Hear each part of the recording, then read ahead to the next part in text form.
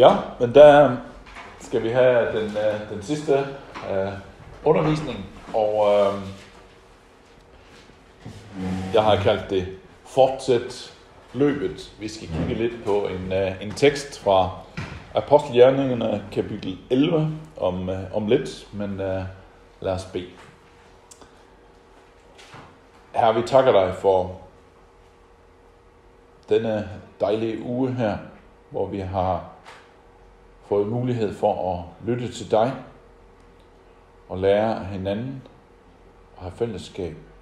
Vi beder også, at øh, du nu vil øh, tale opmuntring og øh, hjælp til os ud fra denne tekst fra, fra kapitel 11 om øh, Barnabas.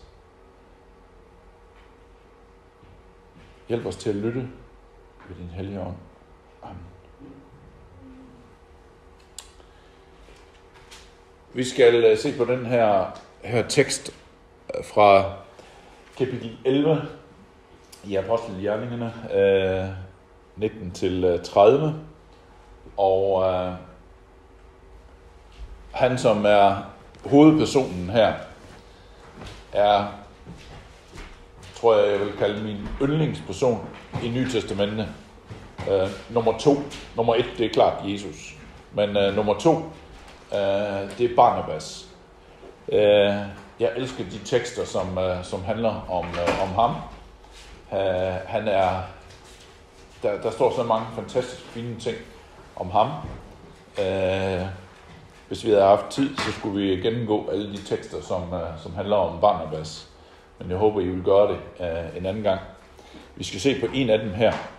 Og øh, ud fra, fra den her lille tekst, der vil vi se på øh, en del af de ting, som, øh, som øh, tales om her i øh, øh, om Barnabas blandt andet. Men øh, lad os læse fra, fra vers øh, 19.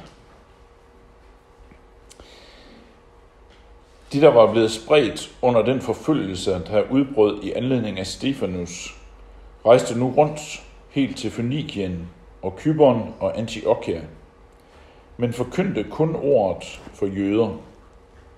Men blandt dem var der nogle kyprioter og kyrenære, som kom til Antiochia og også talte til grækere og forkyndte evangeliet om Herren Jesus.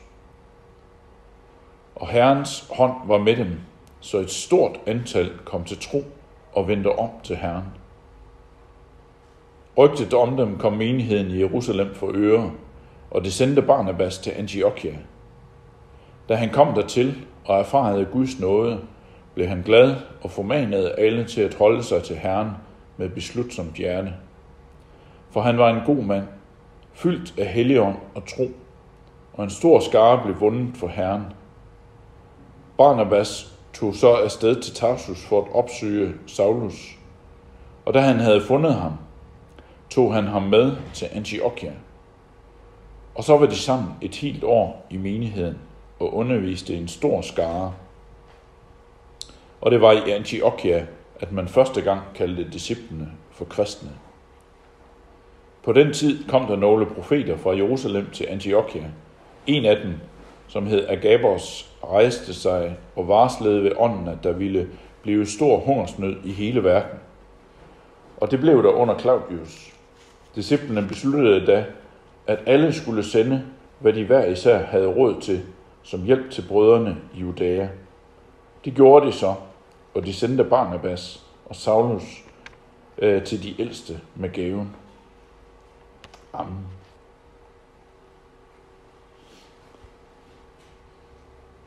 For at huske lidt øh, bedre, hvad øh, teksten her siger til os, så øh, jeg ved ikke, om det er bare de danske bibeloversættere, øh, der har øh, fundet på det, men så er der faktisk en øh, 7-8 ord her i teksten, som begynder alle sammen med F, og øh, dem vil vi prøve at se på øh, ganske kort. Det første, det er, at øh, der havde været en øh, forfølgelse tidligere. I øh, kapitel 8, der læser vi om, hvordan øh, den første menighed i Jerusalem, de var blevet spredt øh, ud over et stort område, øh, kort tid efter, at Stefanus han var blevet øh, Øh, stenet til døde. Der står, der blev en øh, stor forfølgelse af menigheden i Jerusalem. Øh, og alle undtagen apostlene. Alle undtagen apostlene blev spredt. Det er egentlig ret interessant. Så det var ikke apostlene først og fremmest, der rejste rundt, men alle eller andre end apostlene blev spredt over hele Judæa og Samaria, og så lidt længere nede i vers 4. De, der var blevet spredt, altså alle andre end apostlene, de rejste rundt og forkyndte ordet. Så det var vanlige mennesker, som øh, rejste rundt og forkyndte ordet. Og det er den uh, forfølgelse her, som uh, der henvises tilbage til. Øh, og det er altså de her mennesker, som, som nu rejser rundt og forkynder evangeliet. Så det vil sige, at forfølgelsen faktisk var med til at tjene det, at endnu flere fik evangeliet at høre ude i en, en større del af, af verden end uh, omkring Jerusalem. Og det var mærkeligt nogle gange, fordi man tænker, at en forfølgelse, kan det, kan det være noget godt? Uh, ikke i sig selv, tror jeg, men uh, det førte noget godt med sig, fordi uh, endnu flere mennesker fik evangeliet at høre. Der har indimellem hørt nogle øh, kristne i Danmark, som siger, øh, måske skulle vi ønske os mere forfølgelse, sådan at, øh, at Gud måske bedre kunne arbejde i vores land. Øh, jeg forstår lidt af, af tanken i det, men øh, jeg tror egentlig ikke, vi skal ønske os forfølgelse, hverken i Danmark eller i, i Norge, øh, mere end vi har. Øh, fordi forfølgelse i sig selv er ikke noget specielt godt. Øh, det er sådan set dårligt, fordi vi, øh, vi får dårligere forhold som kristne.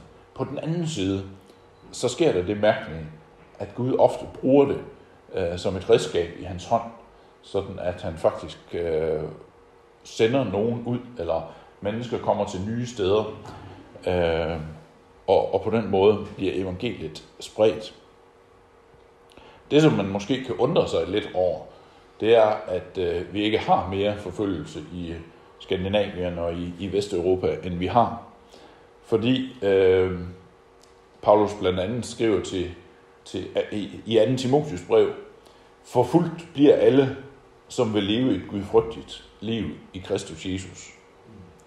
Og der kan vi måske nok øh, stille os selv øh, spørgsmålet, øh, lever vi så et gudfrygtigt liv i Jesus? Kan det virkelig ses? Bliver mennesker så udfordret af vores tro og af, at øh, vi deler vores tro med andre, at de faktisk, at modstanden kommer? Man kan måske sige, lidt, lidt af det kommer måske, når vi går på Grønland, som i går, og udfordrer lidt øh, øh, nogle grupper af mennesker, der tror noget andet. Øh, men forfølgelse kan man jo ikke sige, det er. Øh, det er, det er samtaler og diskussioner og, og sådan lidt. Men alligevel havde vi jo masser af muligheder for at dele evangeliet. Det, der sker i, øh, i forfølgelsen, både det ene og det andet sted her, det var jo det, at øh, de, de forkyndte evangeliet. Og jeg synes, det er, det er så stærkt at følge hele vejen gennem apostlenes øh, gerninger. Det er, at, øh, at de forkynder evangeliet hvor som helst. Og øh, hver eneste gang, der er mulighed. Øh, uanset om det er for eksempel på Areopagos, som, øh, som Magnus talte om her til morgen, eller, eller de rejser rundt, eller de bliver forfulgt, så forkynder de evangeliet. De er, de, de er ikke til at stoppe. De havde en ledenskab, at øh, evangeliet, det måtte ud, uanset hvad, hvad det kostede, uanset hvad, hvad der skete. De var ganske enkelt ikke til at lukke munden på. Og det ser vi masservis af gange. Øh, de bliver sat i fængsel, de får at vide, det er forbudt at tale om Jesus. Øh, de bliver forfulgt, øh, og nogen bliver endda slået ihjel. Og alligevel, så er de, de er umulige at stoppe. De bliver ved og ved og ved og ved. Og øh, de forkyndte evangeliet først for jøder, og senere, så står der deroppe i, i slutningen af, af vers øh, 20, at øh, de forkyndte evangeliet også for, for grækere. De forkyndte evangeliet om Jesus Kristus. Der står igen her ikke så meget om, hvad de sagde om Jesus, øh, men de forkyndte evangeliet. De forkyndte det centrale budskab om, hvem Jesus var.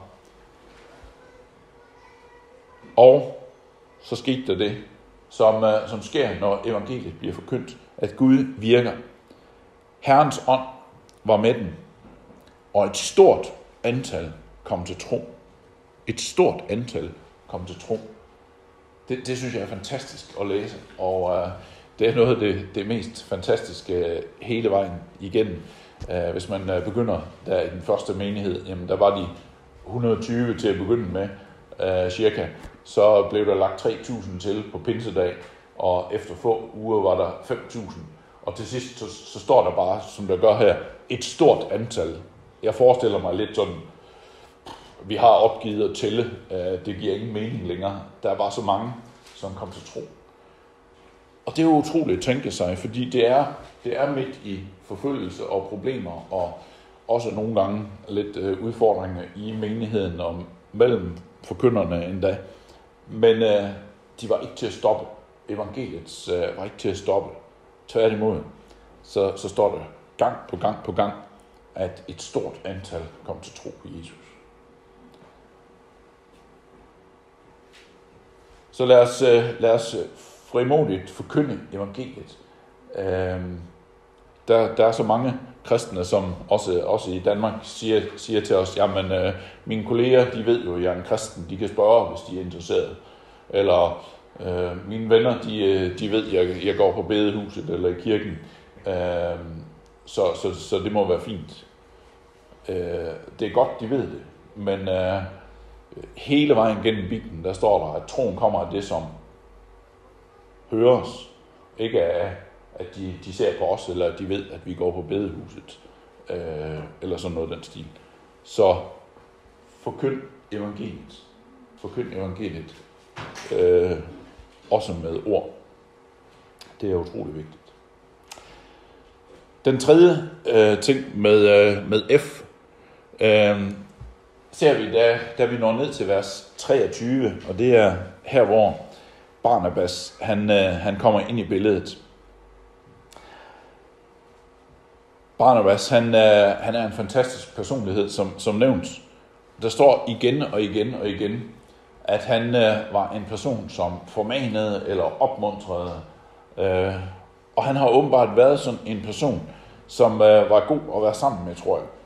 Der står om ham, at øh, da, han, da han erfarede Guds nåde, da han så, hvordan Gud arbejdede i menigheden, så står der, at han blev glad. Han blev glad. Jeg synes, det er fantastisk. Øh, jeg oplever en del kristne, som ikke er sådan specielt glade, og hvis man ser mennesker vokse i troen, der må man blive glad. Øh, og øh, det var det, som, øh, som Barnabas blev. Når han så, hvordan Gud arbejdede i menneskers liv, så blev han glad. Og der står videre om ham, at han var en god mand, fyldt af helligånd og tro. Uh, og jeg ville ønske, at jeg havde kendt ham.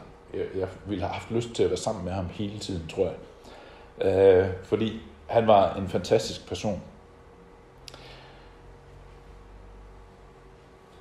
Der var brug for ham dengang, er jeg sikker på. Der var brug for en, øh, en mand, der formanede og opmuntrede i menigheden.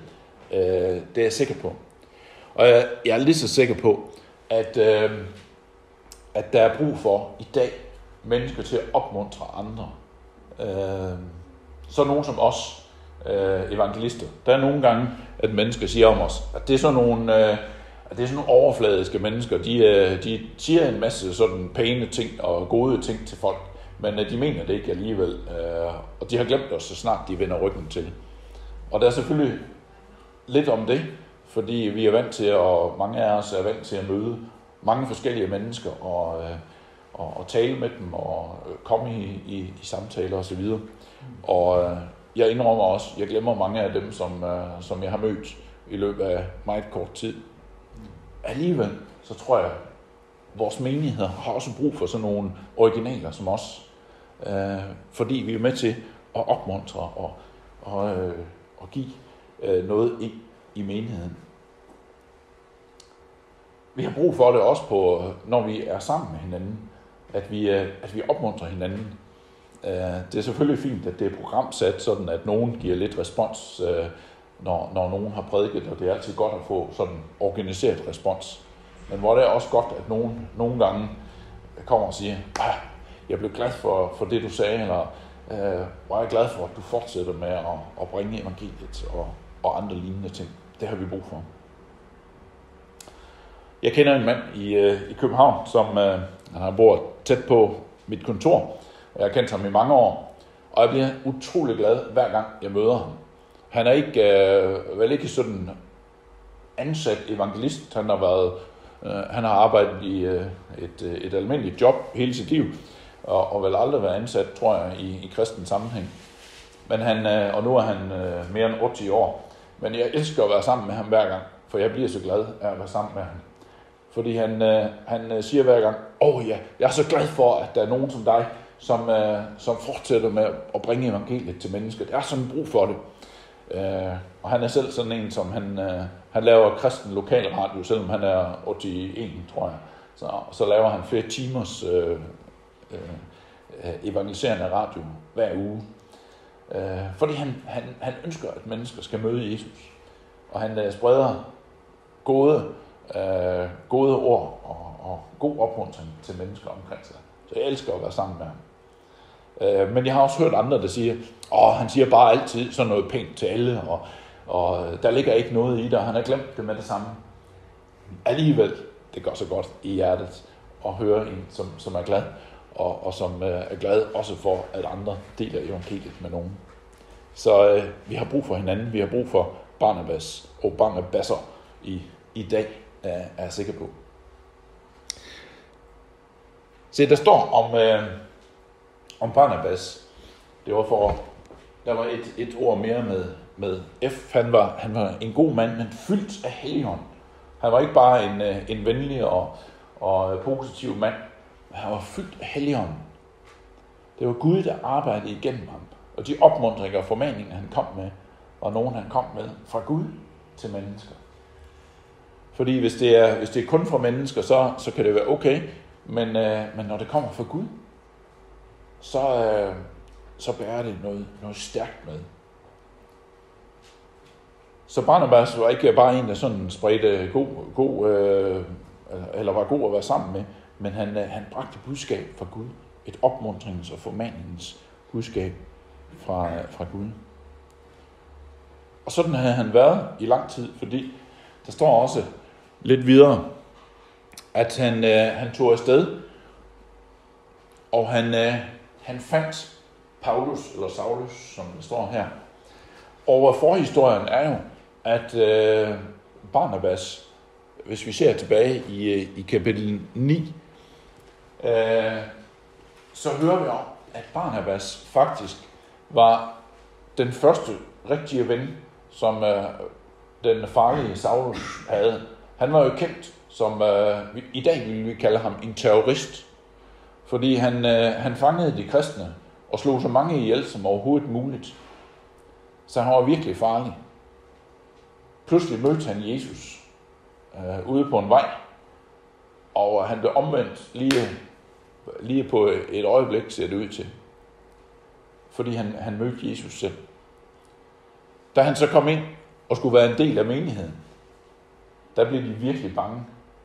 Tænk nu, om det var bare et trick, han, han, øh, han øh, sagde, jeg er blevet en kristen, så, øh, så, så vil han ind i menigheden og få fat på endnu flere kristne og slå endnu flere ihjel. Men så var, så var Barnabas der. Og Barnabas han sagde, ej, han har mødt Jesus. Han er god nok. Tag imod ham. Han er vores nye bror i Herren. Tag, tag imod ham. Så man kan sige, at Barnabas han satsede sit eget liv på at få, på den her nye ven, som, øh, som havde taget imod Jesus. Og det vi kan se her, det er, at han bliver stadigvæk ved med at holde kontakt med ham. Det her det er et stykke tid efter, at, øh, at Paulus havde, havde mødt Jesus. Øh, og selvom han senere blev en, øh, en stor leder, og det er ham, der har skrevet en stor del af Nye Testamente, så var han en ny kristen, og han havde brug for en, en ven og en bror, der tog sig af ham. Det var faktisk Barnabas, og han blev ved med det i lang tid.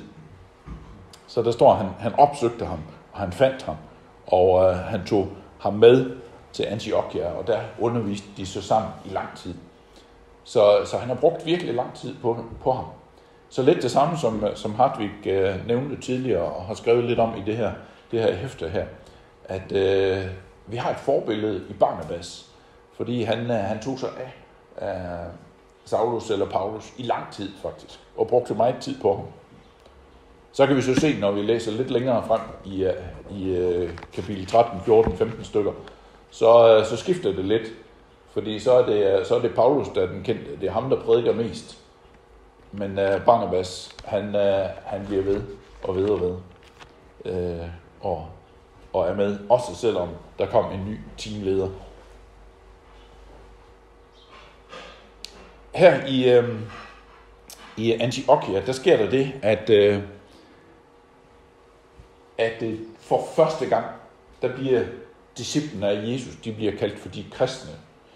Nu ved jeg ikke helt, hvordan, øh, hvordan det er kommet sådan, men umiddelbart, så tænker jeg, det har måske været, jeg ved ikke, hvad, hvad det hedder på norsk, på dansk hedder det et øgenavn, altså et øh, sådan dårligt navn, man giver for nogen. Hvad, hvad kalder man det på norsk? Kallenavn? Ja, altså økenavn er jo et, nav- er jo et ord som er. Det Ok. er ikke, Ja. Litt arkaisk. Ja, men, Okay, men øh, I forstår, hvad jeg mener. Ja. Uh, jeg forestiller mig lidt næsten, at det, det er sådan et, et lidt... Øh, det har været sådan en markat, man har sat på. Det er de, det er de kristne, altså de, som følger Kristus. Og, og til at begynde med, så kan man tænke, okay, det er, det er et lidt øh, negativt ord. Men de tog det positivt, og de ventede det, og blev ved med at bruge det. Og i stadig i dag bruger vi ordet, jeg er en kristen, som beskriver, jeg følger Kristus. Jeg følger ham. Øh, og det, er jo, øh, det synes jeg faktisk er, er utrolig fantastisk, at vi, at vi bruger det, som måske i begyndelsen var et, øh, et øh, negativt ord om, øh, om disciplene.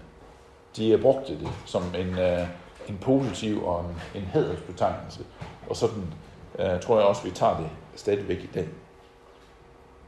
Så øh, de tog et navn efter deres mester, efter, efter Kristus, og det gør vi fortsat øh, i dag.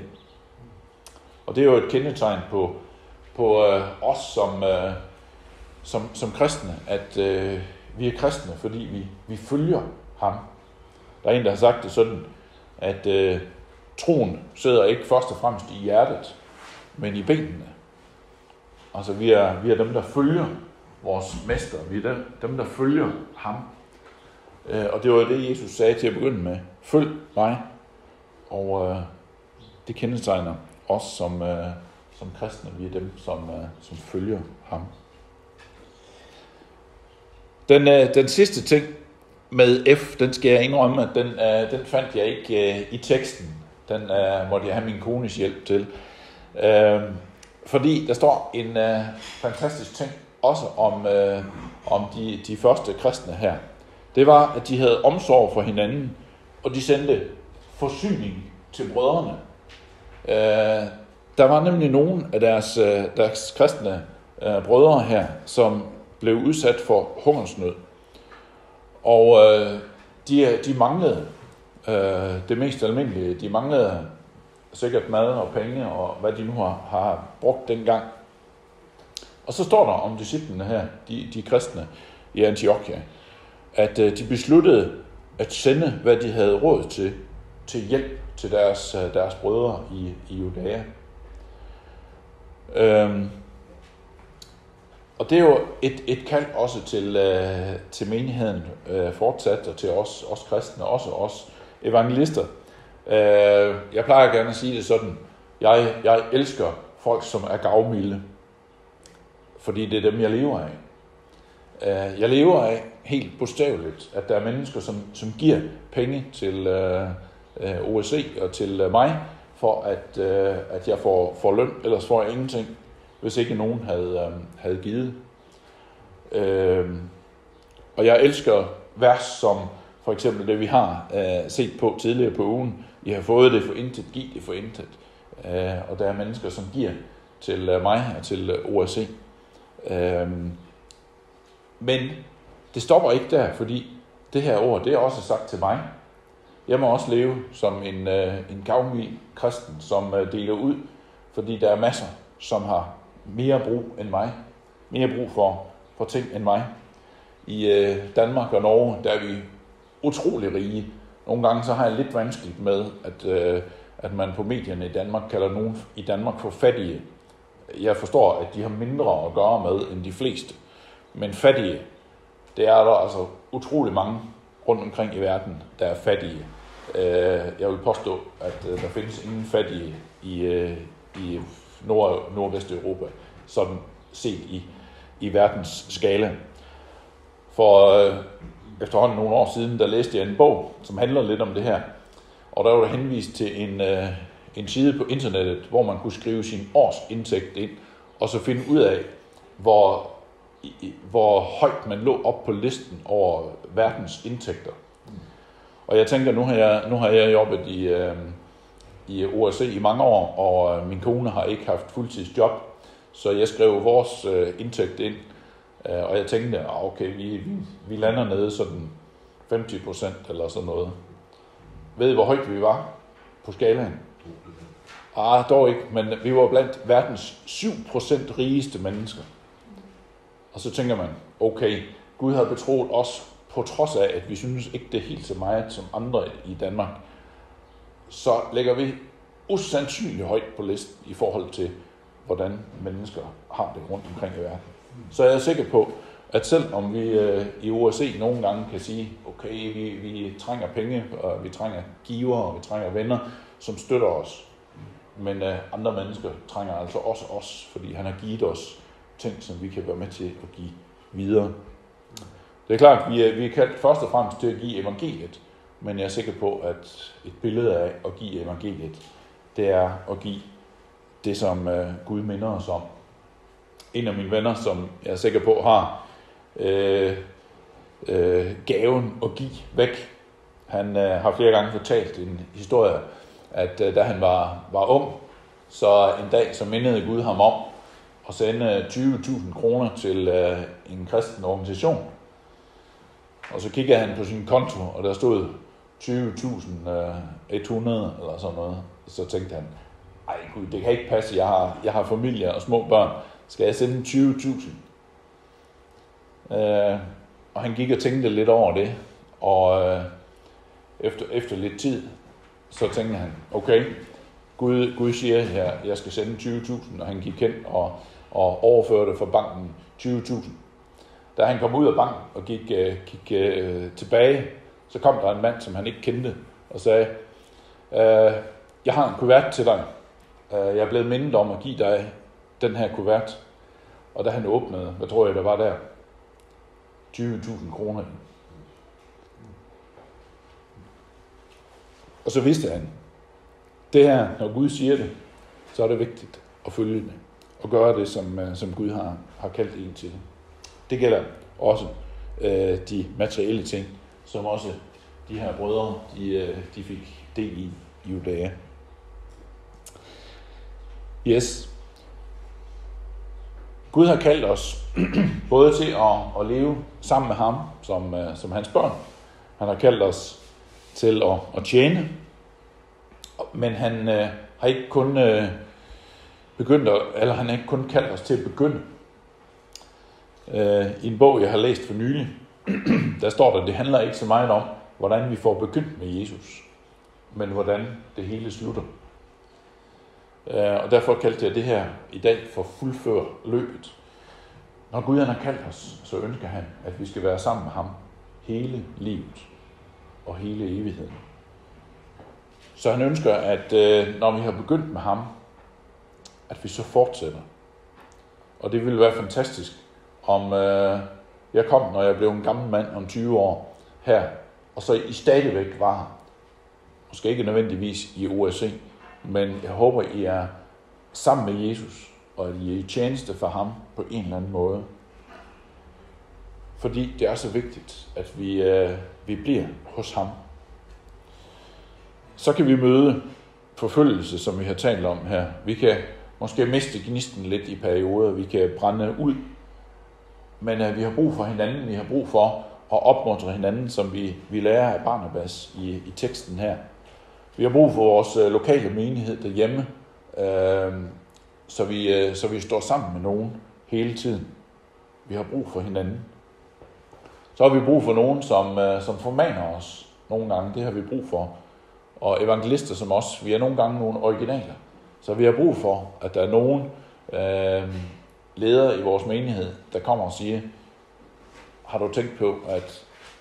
Og så lad være med at tænke, åh, de er også, de er også irriterende. De, øh, de brænder jo ikke for Jesus, som, øh, som jeg gør. Øh, de tænker også bare hele tiden på det og det og det og det. Men øh, lad os lytte til dem. Nogle gange, nogle gange kunne de jo godt have ret, måske. Vi har brug for, at der er nogen, der hjælper os. På samme måde som, som øh, i OSCE har vi brug for et styre. Nogle gange synes jeg, at mit styre derhjemme, så tænker jeg, ah, det er også irriterende. De siger, nej, det har vi ikke penge til. Nej, vi, det kan vi ikke gøre, men det her kan vi gøre. Så tænker jeg, lad os gøre det hele. Men jeg ved jo egentlig godt, de har ret. Øh, vi må fokusere, og vi må have balance i, i regnskabet og sådan. Vi har brug for, for mennesker, til at formane og opmuntre på samme måde, som de havde her. Og så har vi aller, allermest brug for Jesus. Vi har brug for ham hele vores liv, og det er den eneste måde, vi kan fortsætte vores, øh, både vores kristne liv, men også vores tjeneste for ham. Det er, øh, som jeg begyndte med at sige den anden dag, at Jesus er i centrum i vores liv, og det må han være hele tiden. Og evangeliet, det, det enkle evangelium om hans frelse, det må være det, vi lever af og lever på hver eneste dag og bliver ved altid. Nogle gange kan nogen synes, vi som evangelister, vi er lidt ensporede, og det er vi. Men det er også vores styrke, det er, at vi øh, holder øjet rettet mod Jesus, og ved, det er ham, det handler om. Det er ham i centrum. Det er ham, det handler om.